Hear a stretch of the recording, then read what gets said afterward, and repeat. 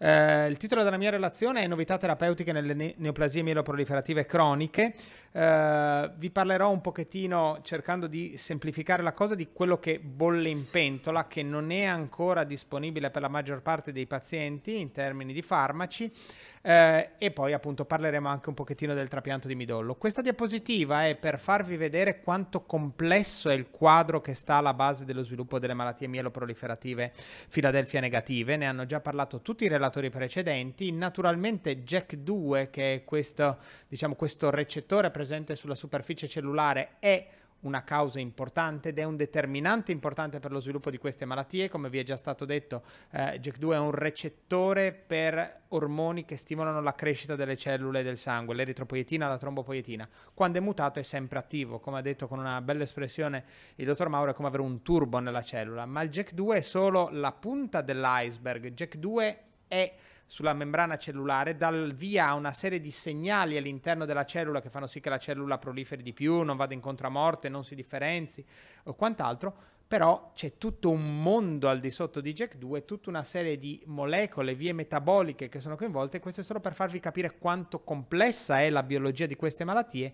e queste sono queste che vedete in questi riquadri grigi sono tutti possibili sedi di azione di farmaci, eh, vie metaboliche del segnale, molecole all'interno della cellula, tutte potenzialmente eh, colpibili.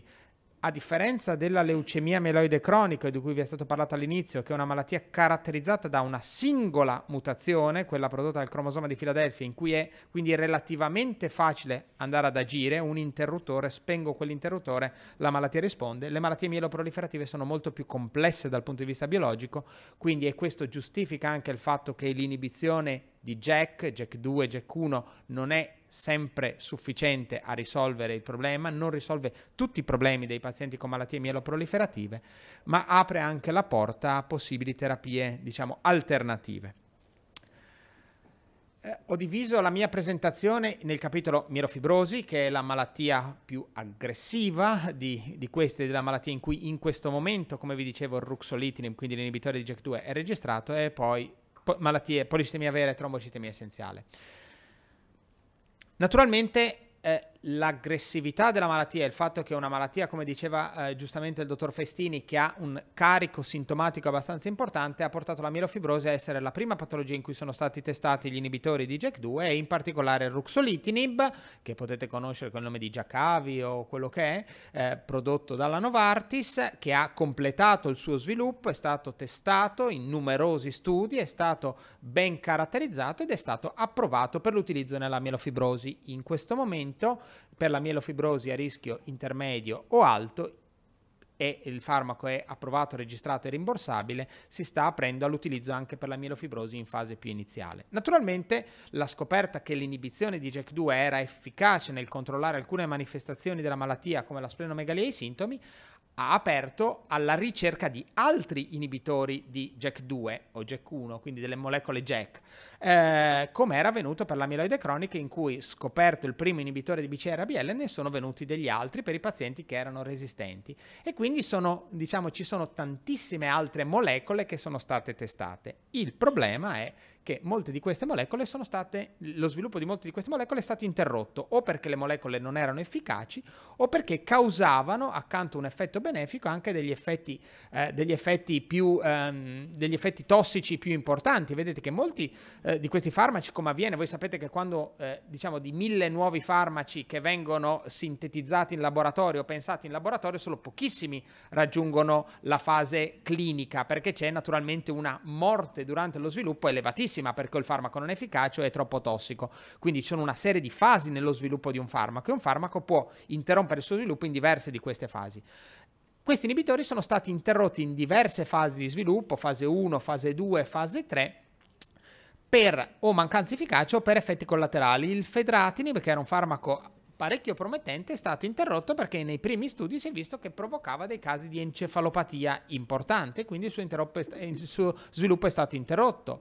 Un altro farmaco che è il pacritinib, un altro inibitore di JAK, è eh, una, eh, ha completato i suoi studi, si è dimostrato efficace, ma è stato bloccato temporaneamente perché dava degli effetti collaterali di tipo cardiovascolare e delle emorragie. L'unico altro inibitore di JAK2 che è ancora in fase di sviluppo è questo farmaco qui che si chiama Momelotinib che sta valutando i pazienti, vi mostrerò alcune diapositive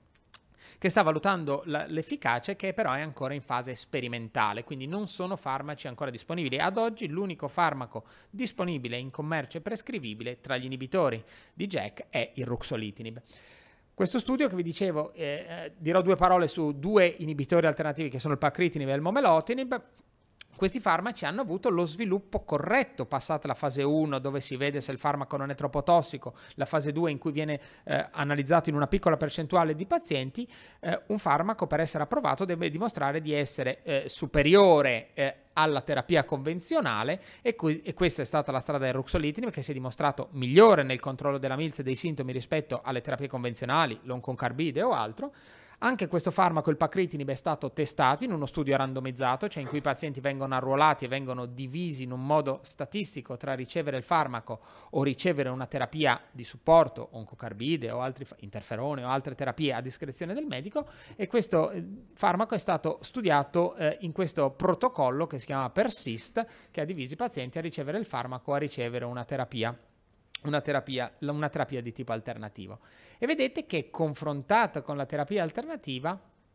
questa è una, diciamo, si vedono spesso negli studi degli inibitori di JAK. Questa è la milza al basale. L'obiettivo primario di, questi, di, di, questo studio era la valutazione della riduzione della milza, perché questi farmaci, come vi diceva il dottor Festini, sono specificatamente attivi nel ridurre le dimensioni della milza e nel controllare i sintomi eh, e possono avere anche altri effetti, ma questi sono i loro due effetti principali. E questa è praticamente una schematizzazione. I pazienti partono al punto zero e hanno la loro milza, che sia di 5, 10, 15, 20 centimetri, e poi si misura la riduzione e più lunga è verso il basso la, questa colonnina e più si è ridotta la milza. Vedete, questa è una riduzione di oltre il 70%, questo paziente è ridotto e ogni singola colonnina è un paziente. E quindi si vede che la maggior parte dei pazienti trattati con il farmaco riduce le dimensioni della milza, chi del 5%, chi del 10%, chi del 20%. Il cut-off era il 35% di riduzione della della MILS e vedete che una quota significativa di pazienti riduce la MILS del meno del 35%, molto di più rispetto alle terapie convenzionali. Questo braccio di controllo non aveva ruxolitinib, quindi non si confrontava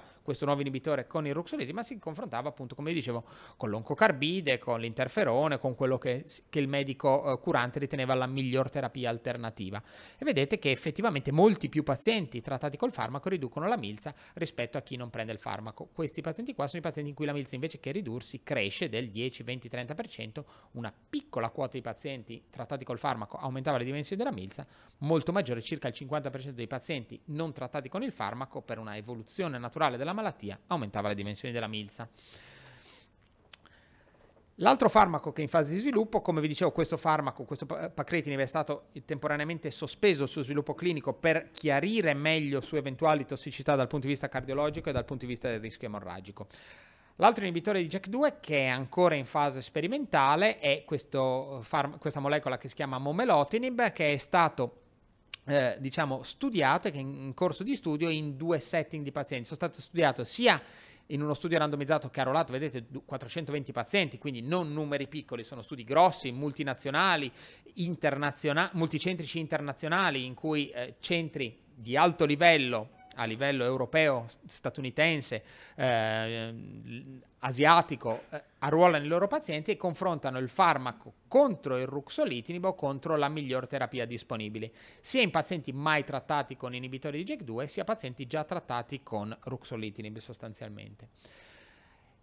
L'unica diapositiva che vi mostro di questo farmaco è eh, un farmaco sicuramente efficace in una quota di pazienti, ma quella che è la caratteristica principale di questo farmaco, di questa molecola, è che è l'unico degli inibitori di JAK2 che non ha un effetto di tossicità sul, eh, sui globuli rossi, quindi è un farmaco che è efficace anche nel controllo dell'anemia. Non è molto chiaro perché questi farmaci che vanno ad agire tutti sulla stessa molecola abbiano delle proprietà diverse, delle potenze diverse e degli effetti collaterali diversi. Questo non è ancora eh, perfettamente chiaro, probabilmente sono delle interazioni anche con altre vie metaboliche in quella complessa rete che vi ho mostrato nella prima diapositiva.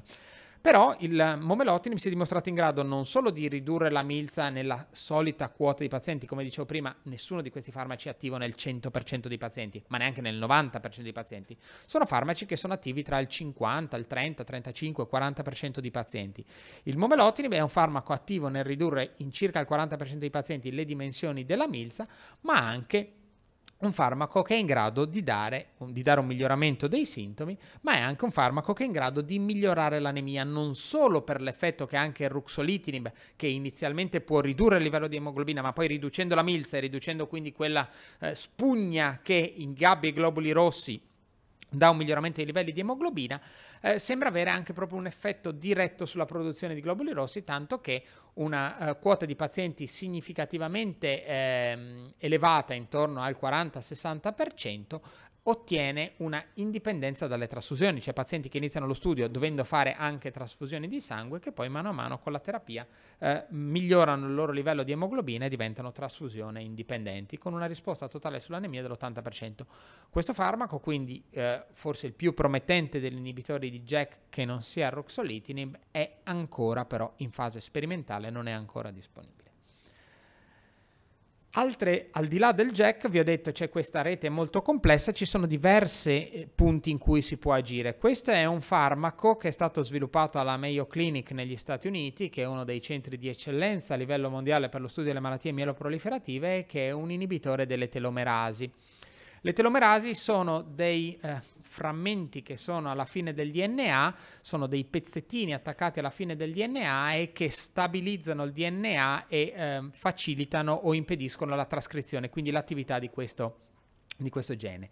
Chi ha dei livelli di eh, telomerasi molto lunghi, chi ha queste, diciamo, questi enzimi particolarmente sviluppati, ha una capacità elevata proliferativa e quindi rende la cellula che ha elevati livelli di telomerasi una cellula più prona alla proliferazione, quindi una cellula che può proliferare anche all'infinito. Questo farmaco, l'imetelstat, è un inibitore delle telomerasi, è come se fosse una forbice che va a tagliare quel pezzettino lungo alla fine del DNA.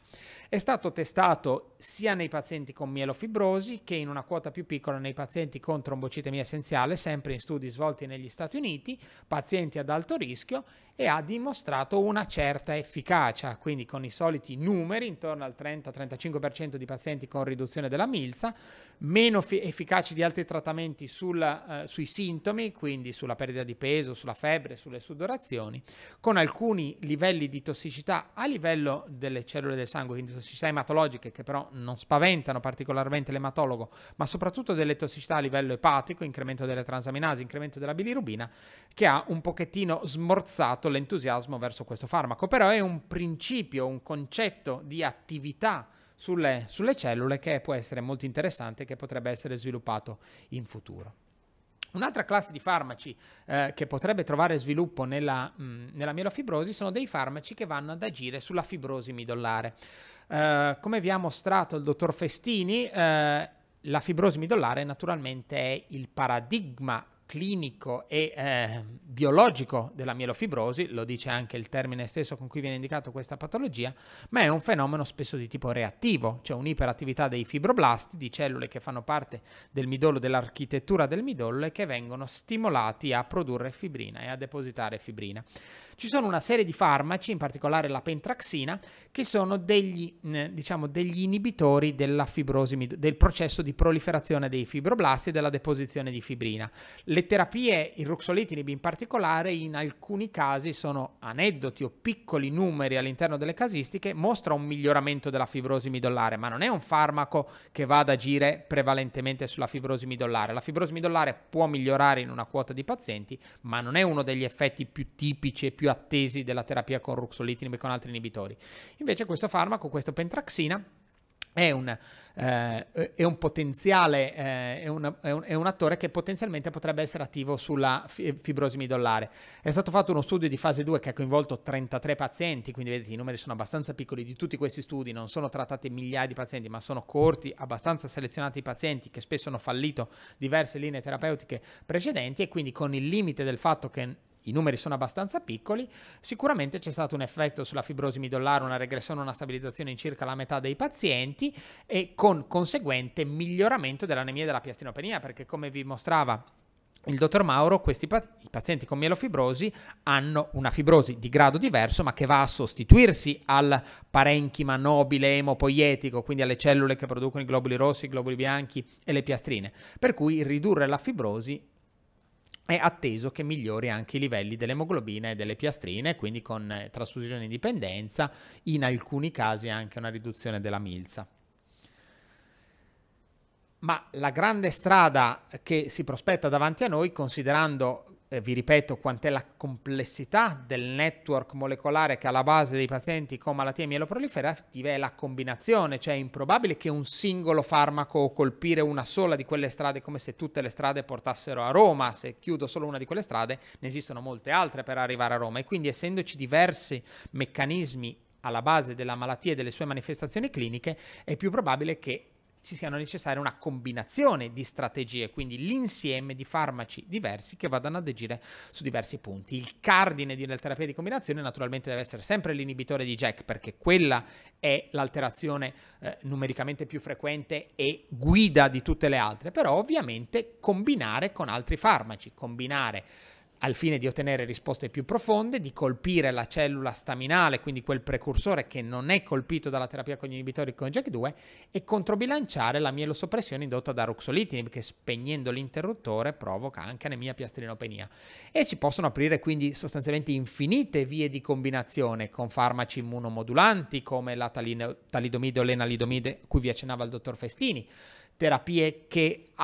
terapie che regolino alcuni meccanismi di modificazione del DNA, come le terapie epigenetiche, alcuni farmaci che possono essere attivi sulla proliferazione e sull'anemia, come gli androgeni, terapie antifibrotiche, la pentraxina di cui vi parlavo prima, o inibitori di altre vie di trasduzione del segnale. Uh, non andrò nel dettaglio perché sono naturalmente, vedete, tutti studi di fase 1, sono studi ancora in fase molto molto iniziale e quindi su numeri molto molto piccoli di pazienti, uh, però sicuramente si può, si può, pensare di combinare il ruxolitinib con molti farmaci, con inibitori di diverse vie di eh, trasduzione del segnale, quindi quelle vie che all'interno della cellula portano il segnale di proliferazione o di inibizione della morte cellulare. E ce ne sono, div- di- sono diversi studi in... Uh, in fase iniziale che si sono dimostrati, diciamo, sicuramente efficaci, anche se in realtà nessuno di questi farmaci finora si è dimostrato in grado di stravolgere il quadro, però possono dare un pochettino, diciamo, un, fare un piccolo passo in avanti rispetto all'impiego del solo ruxolitinib, eh, possono essere attivi di nuovo, come vi dicevo, sul grado della fibrosi e eh, diciamo sono dei eh, comunque il principio cardine eh, che deve guidare questa associazione è quello di cercare di non avere un aumento di tossicità, non dare una somma di tossicità, ma eventualmente una sottrazione, ridurre la tossicità indotta dall'inibitore di Jack. E veniamo al, eh, diciamo, all'argomento un po' più caldo e anche un po' più attuale, perché questo, il trapianto allogenico di midollo, è una procedura che viene utilizzata da molti anni per quanto riguarda le malattie mieloproliferative. Trapianto, naturalmente parliamo del trapianto allogenico, cioè quello da donatore, familiare o non familiare, chi e quando. Come vi è stato già eh, detto, quando parliamo di trapianto allogenico dobbiamo tenere presente che è una procedura Intanto che è una procedura, eh, una strada dalla quale non c'è ritorno, cioè una volta fatto il trapianto non è che si può ritornare indietro, non è come un farmaco che si può dare e poi sospendere. Il trapianto naturalmente è una procedura che una volta fatta è fatta.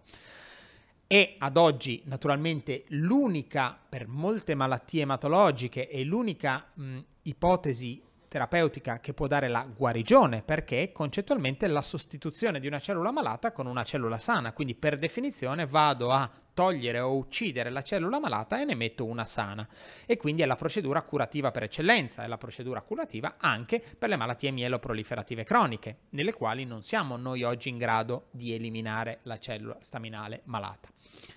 E quindi da un piatto della bilancia naturalmente la guarigione, l'aspettativa della vita, abbiamo due in prima fila due eh, esponenti di quello che è stato questo percorso, forse ce n'è qualcun altro in sala, quindi sicuramente su un piatto della bilancia la guarigione, sull'altro i rischi. perché ovviamente non dobbiamo dimenticarci che il trapianto allogenico ha una percentuale di mortalità legata alla procedura perché per fare spazio alle cellule nuove bisogna uccidere le cellule vecchie. E come si uccidono le cellule vecchie? Con la chemioterapia, con la chemio-radioterapia, quindi con una terapia che va a svuotare il midollo sostanzialmente. Il midollo deve essere svuotato per fare spazio alle cellule nuove che poi dovranno proliferare. La fase di aplasia, cioè di svuotamento del midollo, è una fase in cui i globuli bianchi scendono a zero, le piastrine scendono sostanzialmente a zero, l'emoglobina cala e quindi il paziente ha tutta una serie di rischi infettivi, emorragici e quant'altro. Chi ha fatto questa procedura sa che richiede un ricovero di almeno un mese per la procedura tra la chemioterapia, la reinfusione e aspettare che le cellule reinfuse ripopolino il midollo e riportino sui valori di globuli bianchi e piastrine. E quindi c'è una mortalità proprio della procedura, quindi quel mese di ricovero, mese, mese e mezzo, quello che è, è gravato da dei tassi di mortalità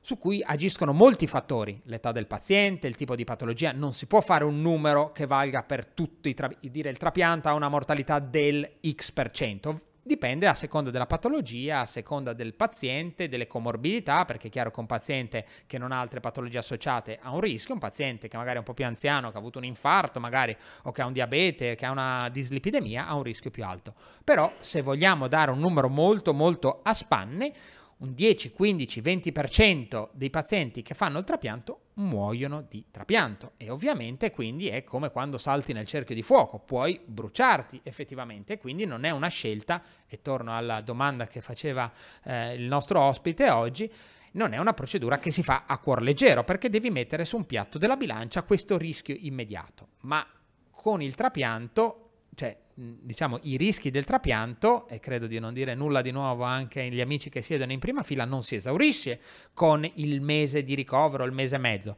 perché dopo entra in ballo tutto un discorso di bilancia immunologica, perché noi quando andiamo a dare una cellula emopoietica, quindi un midollo nuovo, diamo anche un sistema immunitario nuovo, perché il midollo è quello che produce tutte le cellule del sangue. Tra le cellule del sangue ci sono i linfociti, che sono i soldati del nostro sistema immunitario, e quindi quando noi andiamo a dare un midollo nuovo, diamo un sistema immunitario nuovo nuovo. Il sistema immunitario può dare il fatto che un sistema immunitario nuovo, diverso e mai completamente identico a quello del paziente, perché gli unici denti sono due gemelli singenici, due gemelli identici, quelli hanno lo stesso, hanno, sono uguali, sono identici in tutto e sono identici nel loro midollo. Quindi in questo caso fare un trapianto tra due gemelli singenici non dà problemi di tipo immunologico, ma sono casi eccezionali. Quanti hanno un gemello identico? Pochissimi. Per cui quando si va a trovare un fratello o una sorella ide- compatibile oppure un donatore da registro, sono una compatibilità che è testata su una serie di molecole, ma non è l'ident- assolutamente identico al paziente. E quindi si dà un sistema immunitario nuovo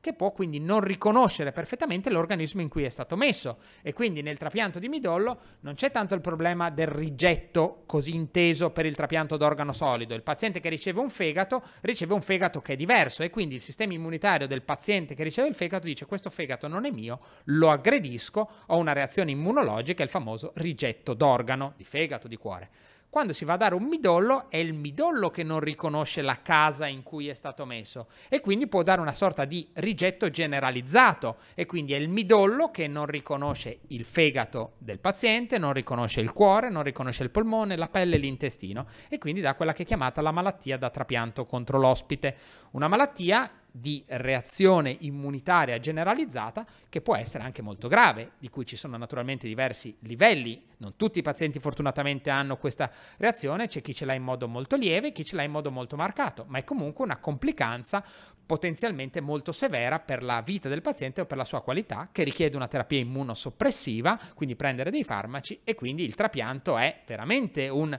triplo salto mortale nel fuoco e lo dico lavorando in un centro che i trapianti allogenici li fa e ne fa anche un numero abbastanza importante. Eh, siamo uno dei centri che in Italia fa il numero maggiore di trapianti allogenici, ma non per questo non riconosciamo che non ci siano delle problematiche nell'immediato e nel futuro. Quindi la scelta di fare un trapianto naturalmente deve essere sempre ben bilanciata ed è per questo che eh, sentendo anche quello che vi ha detto la dottoressa Ciancia, quello che vi ha detto il dottor Silvestri, nella trombocitemia essenziale e nella policitemia vera, che sono delle malattie a lunga aspettativa di vita, in cui ci sono sicuramente delle potenziali complicanze, ma ci sono anche delle terapie, nessuno propone una procedura che ha un rischio di mortalità del 20% nei primi mesi dopo il trapianto e un rischio di complicanze anche severe, anche a lungo termine, nel, nei restanti anni della vita del paziente. Per cui chiaramente la bilancia pende più dalla parte dei rischi che dalla parte dei benefici. Diverso il discorso della mielofibrosi, che è una malattia biologicamente più aggressiva e in cui, per, e in cui l'ipotesi trapiantologica sicuramente ha un, suo, ha un suo peso.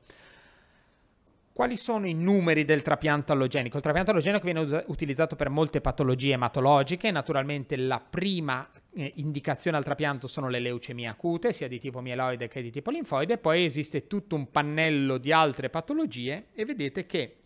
per quanto riguarda l'attività trapiantologica, le sindromi mieloproliferative croniche che non siano la mieloide cronica, che una volta era una forte indicazione al trapianto, ma che adesso con i farmaci molto attivi è diventata un'indicazione sostanzialmente nulla al trapianto, le sindromi mieloproliferative, in cui c'è sostanzialmente solo la mielofibrosi, sono insieme alle sindromi mielodisplastiche, che sono delle patologie se le tre malattie sono sorelle, le mielodisplasie sono delle patologie cugine, sono patologie sempre della cellula staminale emopoietica, ma con caratteristiche, con caratteristiche cliniche diverse. Quindi non abbiamo il numero preciso di quante mielofibrosi vengono trapiantate in Italia, in Europa e nel mondo perché sono associate alle mielodisplasie. Quello che possiamo dire è che un protocollo eh, ehm, eh, generato dal gruppo italiano trapianto di midollo eh, che ha coinvolto pazienti con mielofibrosi e ha arruolato fino ad ora circa 10%, di 10, 10, casi all'anno, il che non vuol dire che in tutta Italia si fanno 10 trapianti per la mielofibrosi, sono sicuramente di più, ma parliamo di qualche decina di casi, io non ho il numero assoluto di quanti trapianti vengono eseguiti per mielofibrosi, però lo possiamo stimare in qualche decina in tutta Italia e se consideriamo, come si diceva, l'incidenza, la prevalenza della malattia, il trapianto nella mielofibrosi è limitato a un selezionato gruppo di pazienti. Perché così pochi trapianti? Abbiamo già detto perché il trapianto ha un costo biologico elevato. Perché la mielofibrosi è una patologia prevalentemente dell'adulto anziano e che molti pazienti sono al di là di quelli che vengono considerati i limiti per l'esecuzione di un trapianto allogenico. Qual è il limite di età per fare un trapianto? L'asticella si sta alzando con il fatto che noi adesso conosciamo meglio eh, la biologia del trapianto e le complicanze del trapianto e che siamo in grado di utilizzare dei cicli di, dei regimi di condizionamento, quella chemioterapia per fare spazio, che sono meno intensivi che in passato. Un trapianto può essere fatto con un regime di chemioterapia preparatorio che svuoti il midollo completamente o parzialmente, la metto un pochettino semplice. È chiaro che un regime di condizionamento cosiddetto non ablativo, non completamente svuotante il midollo, è un regime con farmaci a dosi più basse e quindi potenzialmente meno tossici. E quindi questo alza la possibilità di fare il trapianto anche dei pazienti un pochettino più anziani. Fino a una decina di anni fa si considerava il limite di età per eseguire un trapianto allogenico 60 anni. Poi piano piano, perché si considera che un paziente di 70-75 anni è un paziente che al di là del singolo caso particolarmente fortunato che mostrano l'84enne che fa la scalata al Monte Everest, ma mediamente un paziente più anziano ha un fegato più anziano, un cuore più anziano, dei polmoni più anziani e quindi è, uno, è un organismo più debole in cui la tossicità si eleva in modo inaccettabile, quindi quel 10% diventa 20, 30, 50, 90%. Quindi con i regimi di condizionamento cosiddetto convenzionale mieloablativo il limite di età è più basso e vedete che anche le casistiche riportate, vedete studi statunitensi, studi europei, inglesi, francesi, italiani, hanno coinvolto un numero di pazienti significativo, ma non elevatissimo, non ci sono studi con 3.000 trapiantati, ma vedete, quelli che ne hanno di più hanno circa 200 pazienti con un'età mediana relativamente bassa, 40, 45, 38, 47, 50 anni l'età mediana, il che vuol dire che ci sono i ventenni e c'è qualche sessantenne, ma mediamente sono delle persone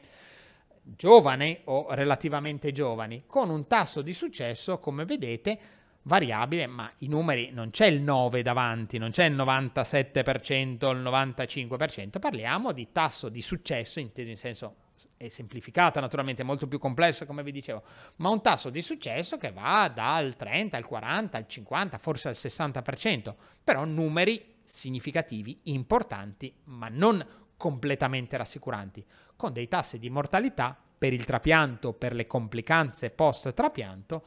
assolutamente significative. Con il trapianto cosiddetto ad intensità ridotta, che è una procedura molto più recente, si è, alzata livello, si è alzata l'asticella dell'età perché sono dei cicli meno intensivi e quindi si può considerare oggi candidato a un trapianto un paziente fino a 70 anni in linea di massima. Ovviamente sono procedure più recenti che si fanno da meno anni e quindi anche l'esperienza è minore, le casistiche sono più piccole, però vedete che si è un pochettino alzata l'età media, è passata dai 40-50 tra i 50 e i 60, 55 anni, con dei tassi di successo che sembrano essere un pochettino migliori. Non si può fare una semplice somma e una divisione, sono esperienze diverse, però vedete che alcune casistiche hanno dei tassi di sopravvivenza, per quanto piccolo, dei tassi di sopravvivenza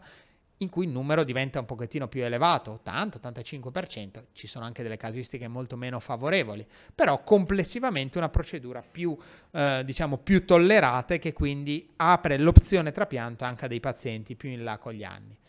Ma qual è il dilemma del trapianto che un po' il paziente, il, il signore di prima eh, sollevava? Questa è una curva molto molto generale, non è rivolta alla mielofibrosi, è una curva generale. Vedete, il trapianto ha una mortalità molto vicina nel tempo, immediata, quella mortalità peritrapiantologica, hai una quota di mortalità e morbidità più in là nel tempo, gli effetti immunologici, le infezioni, le recidive di alcune malattie, perché una leucemia acuta dopo il trapianto può anche tornare sfortunatamente fuori, ma poi una quota di pazienti che, possiamo, che può essere variabile, 30, 40, 50, 60%, diciamo che sia il 50%, così tanto per farla facile, sopravvive a lungo termine e quindi è guarito. Quindi questi sono i pazienti guariti. Allora, se abbiamo una malattia che con le cure convenzionali va così, muoiono tutti, una malattia incurabile, è chiaro, tutti subito, se possibile, se hanno le caratteristiche, se hanno un donatore. Ma se abbiamo una malattia che va così e in cui la sopravvivenza a lungo termine è di questo tipo qua, viene detto nessuno mai. Chi dovrebbe affrontare il rischio del 30% di mortalità nel primo mese quando l'alternativa è essere sicuramente vivo dopo 3, o quasi sicuramente vivo dopo 3, 6 mesi o 12 mesi? Eh, alla fine la realtà anche della mielofibrosi è questa, che la sopravvivenza è questa e quindi ci giochiamo un rischio immediato per avere un beneficio futuro e in questo caso è molto difficile stabilire quando queste due linee si intersecano e quale sia il timing migliore per andare al trapianto. I risultati del trapianto dipendono dal rischio della mielofibrosi ed è quello che già vi diceva prima il dottor Festini, vi accennava, la mielofibrosi si eh, diciamo, mh, classifica tipicamente in quattro classi di rischio, basso, intermedio 1, intermedio 2 o alto, e se noi vediamo quali sono i pazienti vivi a 5 anni con, ehm, con, le procedure, con le terapie convenzionali o con il trapianto, vedete che da un lato i pazienti trapiantati con una malattia a basso rischio, proprio perché hanno una malattia meno avanzata, milze più piccole, meno blasti, meno anemici, vanno meglio nel lungo termine, hanno delle sopravvivenze vicino al 70%, mentre una malattia trapiantata in fase avanzata ha un outcome peggiore. Dall'altro lato, però, senza fare il trapianto, i pazienti a basso rischio hanno un'aspettativa di vita vicino al 100%. I pazienti a rischio intermedio stanno a metà, i pazienti a rischio alto hanno una possibilità di essere, di essere, vivi a 5 anni molto bassa. Quindi, se nel rischio alto non c'è dubbio che il trapianto vada meglio, se si può fare, se c'è il donatore, se c'è l'età, eccetera, eccetera, e nel rischio basso non c'è un'indicazione perché non c'è una eh, realistica aspettativa di un beneficio dalla procedura trapiantologica, il gioco si fa difficile la e la scelta si fa più eh, ardua nei rischi intermedi naturalmente, perché il mondo non è tutto bianco o tutto nero, ma c'è un'infinita varietà, più di 50 sfumature di grigio, ma ce ne sono 100 o 1000 perché ogni paziente ha la sua storia, il suo percorso, le sue aspettative e quindi nei pazienti a rischio intermedio la situazione è un pochettino più fluida e va valutata caso per caso teorica, tendenzialmente il rischio intermedio 2 è più vicino all'alto rischio, quindi il vantaggio e il beneficio c'è anche dimostrato dalle curve. Nell'intermedio 1, come giustamente diceva il dottor Fettini, solo per alcune caratteristiche, perché anche i pazienti a rischio intermedio 1 non sono tutti uguali. C'è il quarantenne a rischio intermedio 1 e c'è il settantenne. C'è quello che è intermedio 1 solo per l'età o quello che è intermedio 1 perché i blasti circolanti sono pazienti diversi in cui fat- deve essere fatta una valutazione soggettiva. E quindi è così, insomma, quindi il paziente a basso rischio è nelle acque tranquille può stare nelle acque tranquille, Il paziente a rischio intermedio è un pochettino più vicino alla cascata, il paziente a rischio alto è un paziente ad elevato rischio di trasformazione in cui l'opzione trapiantologica naturalmente deve essere tenuta in considerazione, tenendo presente che cos'è che fa il rischio e questo lo sapete già. La domanda che è aperta ancora è se il ruxolitinib può migliorare l'esito del trapianto. Come agisce il ruxolitinib? Agisce riducendo sicuramente la milza, i sintomi e quindi anche la denutrizione, l'iponutrizione, la sazietà precoce dei pazienti. E quindi questi sono sicuramente degli effetti positivi del ruxolitinib sull'outcome del trapianto. Uh, il ruxolitinib però una volta sospeso può dare rapidamente una ricrescita della milza e quindi c'è anche un discorso di un paziente che arriva in ruxolitinib al trapianto di ridurre il ruxolitinib progressivamente fino all'inizio della procedura di condizionamento al trapianto per evitare una sindrome da sospensione, però ruxolitinib è un farmaco che può avere un aumentato rischio infettivo, questo ve l'ha detto il dottor Silvestri parlando di policitemia vera, eh, effettivamente c'è un aumento del rischio infettivo, quindi ancora non sappiamo, non abbiamo casistiche amplissime di pazienti trapiantati e trattati con ruxolitinib, l'esperienza si sta facendo, eh, però è un, è un punto di attenzione.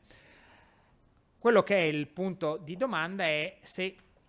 l'utilizzo del ruxolitinib rischia di, di, di, ritardare il trapianto, cioè noi abbiamo un paziente che è candidato a fare un trapianto, inizia la terapia con ruxolitinib per ridurre la milza, per migliorare i sintomi, per aumentare di peso, poi risponde bene alla terapia. E allora cosa fare? Interrompo una strada che mi sta dando un beneficio per andare al trapianto o aspetto? E se aspetto rischia di passare il tempo e che il paziente tra 5 anni è più vecchio oppure si fa una infezione intercorrente e me lo rende più a rischio per la procedura del trapianto. Quindi come vedete non c'è una risposta univoca, ma è un quadro molto complesso e molto fluido, molto liquido che può cambiare per diversi, per diversi motivi.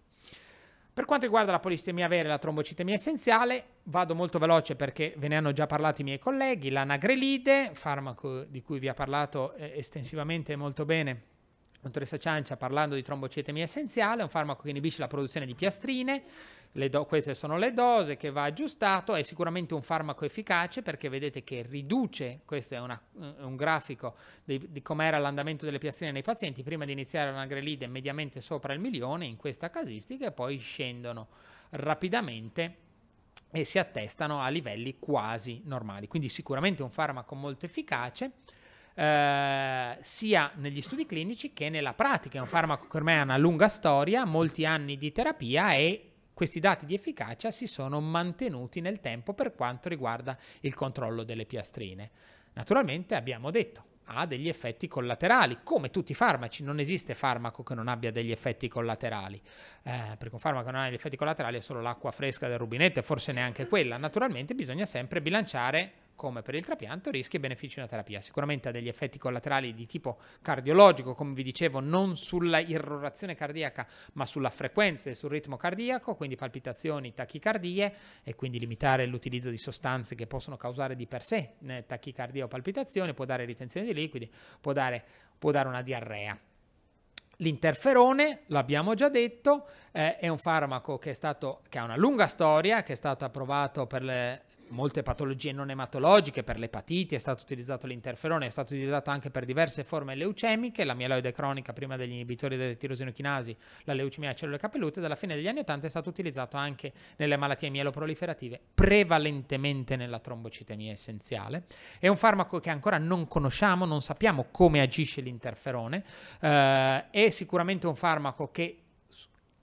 con un meccanismo ancora, come vi dico, largamente sconosciuto, inibisce la proliferazione dei progenitori emopoietici, sembra essere selettivo nei confronti del clone malato, in pazienti JAK2 positivi trattati con interferone il clone JAK sembra ridursi, quindi non è un effetto generale, sembra essere un effetto anche sul clone malato, ha un'attività prevalentemente a livello dei megacariociti, il che spiega perché viene utilizzato prevalentemente nella trombocitemia essenziale ed è l'unico farmaco, come è stato detto, che non ha un effetto teratogeno, come ha detto bene la dottoressa Ciancia, non passa la placenta, non si trova nel sangue del feto e quindi è l'unico farmaco considerato sicuro in gravidanza. L'interferone, l'esperienza è, come vi dicevo, prevalentemente nella trombocitemia essenziale, è sicuramente un, un, farmaco efficace con dei tassi di risposta importanti, intorno all'80-85%, tassi variabili, che vuol dire che c'è il paziente che risponde completamente e il paziente che risponde parzialmente, ma è sicuramente in grado di controllare il numero delle piastrine, però è una, è una terapia difficile, è una terapia che non esiste per forma orale perché degradato, sarebbe degradato nello stomaco, quindi non esiste la possibilità di pensare a un interferone per bocca. Va fatto per via sottocutanea, va fatto o tutti i giorni o tre volte alla settimana e quindi una quota significativa ha degli effetti collaterali. Gli interferoni sono le sostanze che vengono prodotte durante le infezioni virali. Tipicamente quando si ha l'influenza, il nostro organismo, i nostri linfociti producono interferoni e sono quelli che sono responsabili dei brividi, dei dolori osteomuscolari, delle mialgie, sono di tutta quella sindrome simile influenzale per cui chi ha provato l'interferone credo che abbia avuto la spiacevole sensazione di avere, soprattutto nelle prime somministrazioni, tutto un corteo di sintomi non sempre di facile controllo. Appunto, per cui la principale causa di interruzione della terapia non è perché il farmaco non è efficace, ma perché il farmaco non è tollerato. Sindrome parainfluenzale, alterazione della funzione tiroidea, malattie autoimmuni, è un farmaco che attiva sul sistema immunitario, quindi può scatenare o peggiorare delle manifestazioni di tipo autoimmune. L'avanzamento per quanto riguarda la terapia con l'interferone è modificare l'interferone, anche perché l'interferone ha una vita molto breve, per cui deve essere somministrato ogni giorno, ogni secondo giorno, tre volte alla settimana. Eh, la soluzione a questo, a, diciamo, a questo, problema è stato quello di attaccare l'interferone a una molecola, le cosiddette forme peghilate, si attaccano a una molecola che aumenta l'emivita del farmaco, quindi aumenta la durata dell'effetto del farmaco e ne riduce le somministrazioni, fino a scendere a una somministrazione alla settimana ogni 10 giorni, perché ne aumenta la stabilità, riduce il picco di concentrazione e quindi lo mantiene dei livelli efficaci per un periodo più lungo e anche sembrano dare una migliore tolleranza al trattamento. Le forme peghilate di interferone sono approvate per l'utilizzo nelle epatiti, ma non lo sono per le malattie mieloproliferative. Quindi ad oggi chi usa l'interferone nelle malattie mieloproliferative deve usare l'interferone vecchio stile perché gli interferoni peghilati non sono approvati. Interferoni che sono farmaci sicuramente efficaci, la solita curva che mostra la riduzione del numero delle piastrine, questi studi sia di polistemia vera che trombocitemia essenziale, però il controllo è prevalentemente sulla conta piastrinica più che sull'ematocrito. Oltretutto l'interferone, questi sono tutti studi clinici dove si possono utilizzare delle molecole ancora non approvate in commercio, l'interferone pegilato dà delle risposte, come vi ho detto, anche molecolari, cioè riduce il clone Jack mutato e quindi probabilmente è un farmaco che è attivo anche proprio sulla biologia e che ha una certa capacità eradicante a prezzo di tossicità non indifferenti. Il ruxolitinib nella polistemia vera, ne ha già parlato il dottor Silvestri, quindi parlo, passo molto molto rapidamente, vi ha già mostrato questa diapositiva, sicuramente efficace nel controllare la milza e nel controllo dei valori dell'ematocrito. Uh, e oltretutto non è solo in grado di controllare la milza e l'ematocrito, ma agendo anche sulle piastrine e sui globuli bianchi riduce tutti gli altri fattori di rischio di tipo trombotico, la leucocitosi e in misura molto molto minore la piastrinosi. Eh, che cosa c'è, che cosa bolle in pentola? Questi sono tutti eh, studi in varie fasi, tutte, a parte il trapianto che ovviamente è una procedura, ma sono tutti eh, farmaci o vecchi o in fase di rivalutazione o fase, in fase ancora di valutazione. Noi a Udine, vi dico quello che c'è in casa nostra, abbiamo solo un protocollo che è in fase di sottomissione al comitato etico verrà analizzato dal comitato etico la prossima settimana, quindi ancora non sappiamo se ci daranno l'ok per questo protocollo, è un protocollo nazionale di utilizzo nei pazienti di utilizzo dell'interferone peghilato, quindi una di queste forme di interferone a lunga emivita e presumibilmente a bassa tossicità in pazienti con policitemia vera a basso rischio. Per vedere, quindi quei pazienti che dovrebbero fare salassi, per vedere salassi aspirina per vedere se salassi aspirina contro salassi aspirina e questa forma di interferone eh, migliora la percentuale di pazienti che rispondono alla strategia terapeutica. Questo è un protocollo che come vi dicevo è in fase di valutazione del comitato etico eh, regionale, vedremo nelle prossime settimane se sarà approvato, in caso dove è per una quota molto piccola di pazienti, non è per tutti i pazienti con polistemia vera, come tutti i protocolli ci sono dei criteri di inclusione, non è che tutti i pazienti possono entrare in un protocollo, protocollo, però sicuramente se sarà approvato passerò l'informazione alle altre ematologie della regione che se hanno qualche paziente che vuole fare questo, vuole tentare questo protocollo, ehm, daremo la nostra disponibilità a seguire i pazienti. Perché è importante? Questo vi dico delle cose molto banali che valgono per le malattie mieloproliferative, ma per tutte le malattie. Che cosa comporta la partecipazione a uno studio clinico, ai protocolli sperimentali? Naturalmente comporta, come per tutta diciamo, la gestione di un paziente, un'informazione del paziente, ma che in un protocollo è molto più standardizzata. Un paziente deve firmare un consenso informato in cui accetta un trattamento sanitario in modo libero, informato e quant'altro. E richiede naturalmente delle procedure dello studio. Lo studio clinico è molto più... Eh, eh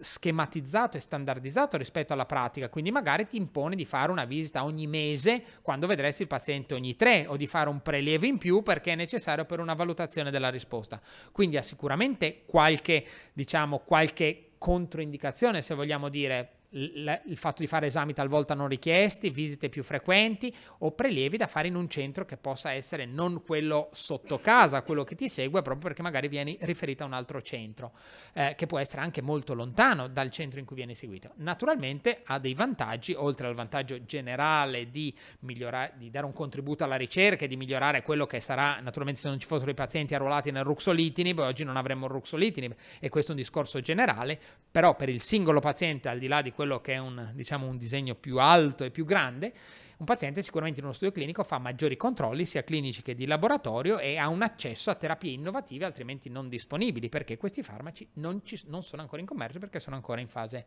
di eh, analisi. E con questo io ho concluso.